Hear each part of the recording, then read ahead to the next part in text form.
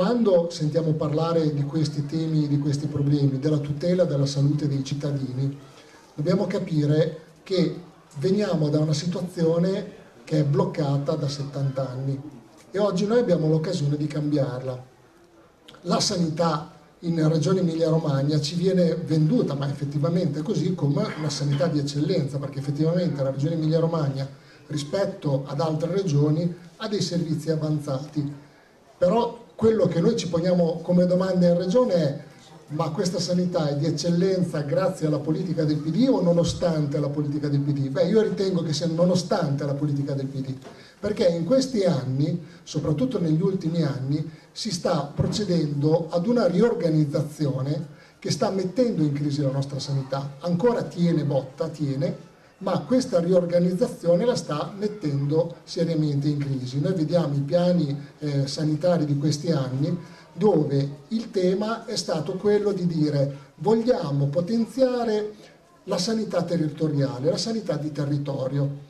Ma questo potenziamento cosa vuole nascondere? Vuole nascondere il depotenziamento che c'è stato soprattutto negli ospedali, perché negli anni del decreto Balduzzi e di Monti i tagli alla sanità hanno colpito e hanno colpito forte, perché i fondi che vengono dati alle regioni negli anni sono diminuiti tantissimo, si parla ormai di 20 miliardi di tagli distribuiti su tutte le regioni e ogni regione la parte di soldi che gli viene data per gestire il servizio sanitario nazionale è condizionata ai tagli che la regione deve operare. Quindi non so, avrete sentito sicuramente tutte le battaglie che abbiamo fatto ad esempio sui punti nascita, dove per quel maledetto decreto si dice che i punti nascita dove si fanno meno di 500 parti all'anno devono essere chiusi e la Regione per ottenere i finanziamenti statali ha cominciato a tagliare, ma questo è uno dei, dei, dei pochi esempi. Perché? Perché quei,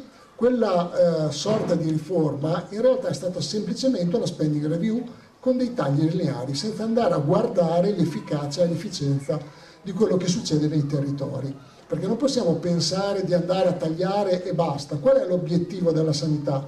È il pareggio di bilancio o la salute dei cittadini? È la salute dei cittadini.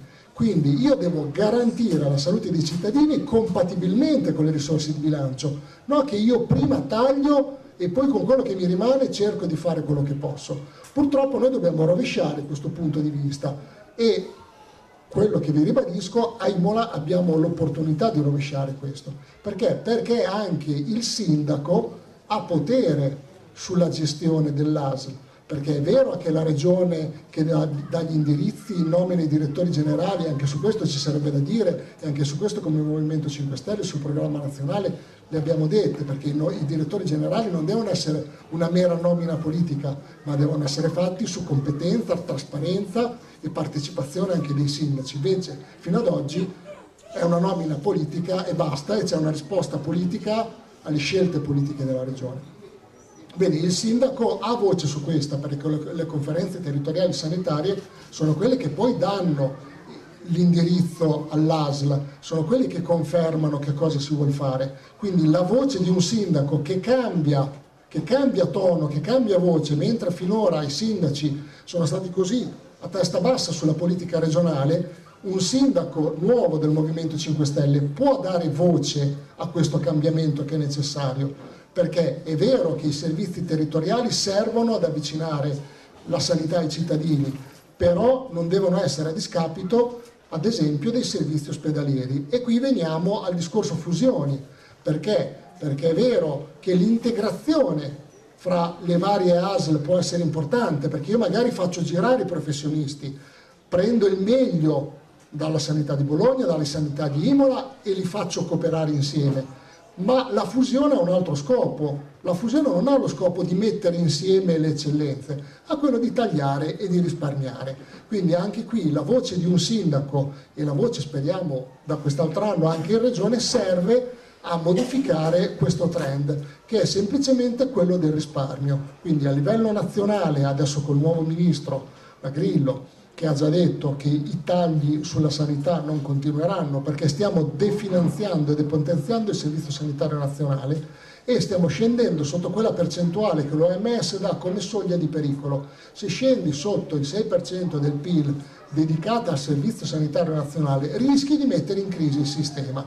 La sanità nazionale rispetto in Europa è una, è una sanità di buon livello, ma se scendi sotto quel livello metti in crisi il sistema e quindi non lo, non lo fai più funzionare. Quindi a livello nazionale, a livello regionale, a livello comunale noi lavoriamo su questa linea. Altro aspetto importante per ricollegarci a quello che dicevamo, la sanità funziona se offro dei servizi efficienti ed efficaci, se ho un buon servizio territoriale, quindi se ho dei bravi medici di base e i medici di base ce li ho, perché l'altro tema è questo, che stiamo riducendo il numero di medici di base, perché non finanziamo più la formazione dei medici di base e anche qui rischiamo di essere scarsi. L'altro aspetto è la sanità la faccio con la prevenzione, la prevenzione che cos'è? Quanto stiamo investendo in prevenzione? Pochissimo secondo noi e anche qui nel nostro programma nazionale l'abbiamo sottolineato con forza che la prevenzione, ad esempio gli stili di vita alimentari, e qui ci ricolleghiamo al tema dell'agricoltura, quindi abbassare la chimica all'interno dell'agricoltura, insegnare ai nostri figli e a mangiare bene, a mangiare la frutta e a mangiare la verdura. Poi anche qui ci sarebbe da dire del progetto frutta delle scuole, che magari poi se vogliamo fare due chiacchiere facciamo anche di quello. Quando facciamo arrivare le albicocche dalla Spagna, non sappiamo se biologiche o no, per da, da dare ai nostri figli, ma questo è un altro discorso.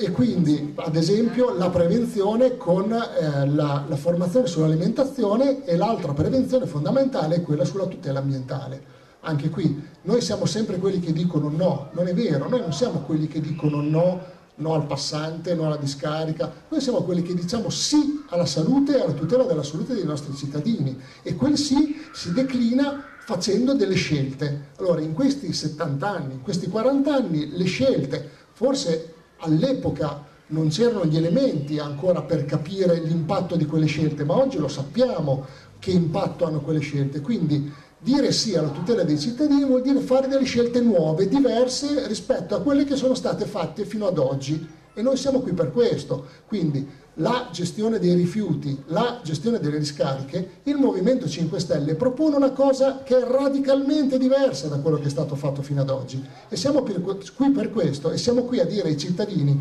che se, voglie, se volete tutelare la vostra salute, se volete cambiare radicalmente, la scelta è una sola, è il Movimento 5 Stelle e quindi la garanzia è questa, cambiamo radicalmente, tuteliamo la salute dei cittadini perché sulla raccolta rifiuti il modello che segue il Movimento 5 Stelle è diverso da quello che è stato scelto fino ad oggi perché l'obiettivo non era ridurre co i costi e, e tutelare i cittadini, l'obiettivo era tutelare lo status quo perché abbiamo da mantenere un sistema, abbiamo da dare i dividendi e abbiamo da mantenere le società partecipate. Dobbiamo uscire da quel paradigma. Qual è l'obiettivo? L'obiettivo è ridurre i costi, tutelare la salute dei cittadini e entrare finalmente nell'economia circolare. Idem sui trasporti. Perché abbiamo un problema di impatto dell'aria? Perché? Perché finora hanno voluto e vogliono continuare a investire sul trasporto su gomma, sulle infrastrutture, ancora qui ci dicono voi siete quelli del no, no, noi siamo quelli dell'alternativa, noi vogliamo spingere sul trasporto pubblico locale, sul trasporto su rotaia, sui piani di mobilità sostenibile all'interno dei comuni. Chi lo fa questo? Chi lo farà? Lo faremo noi, non, non solo loro, loro non lo faranno questo, loro continueranno a darsi una verniciata di verde e a continuare su quella strada. Quindi io vi chiedo a tutti e di fare sapere a tutti quelle 5 stelline che noi siamo il cambiamento e siamo la speranza di questo territorio e di questa regione. Grazie.